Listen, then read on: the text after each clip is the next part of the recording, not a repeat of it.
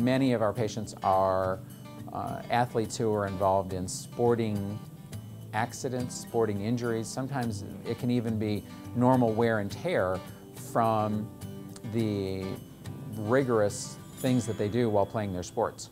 In Tyler's case, he uh, had an injury to his knee, and even though it was surgically repaired, you know, he had a torn anterior and posterior cruciate, and we know that improving the oxygen delivery to these oxygen-starved tissues will increase the rate of healing by providing high-pressure oxygen to those structures. Well, it was the last game of the year, and it was a kick return, and I was running the ball, and my leg got caught, and it snapped back.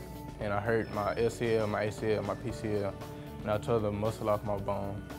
And I came here, and Dr. Souryal did my surgery. We feel very fortunate that we have access to a place like this so that our patients, whether they're recreational, uh, high school, or professional, can uh, take advantage of this technology. Uh, in this particular case, uh, this is a young man with Division One prospects that had a complete knee blowout playing football. Uh, so the surgery was to reconstruct almost everything in the back of the knee. He also had some nerve damage.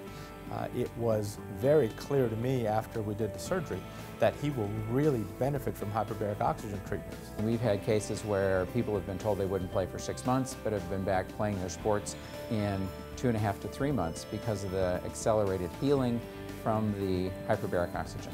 I've been coming to therapy for like five days and it's speeding up my recovery and it's healing real fast. We've realized that more and more people are would benefit from hyperbaric oxygen therapy to uh, accelerate their healing after sporting injuries, after soft tissue injuries. Normally there's a lot of swelling and bleeding and bruising, and in this particular case I haven't seen any.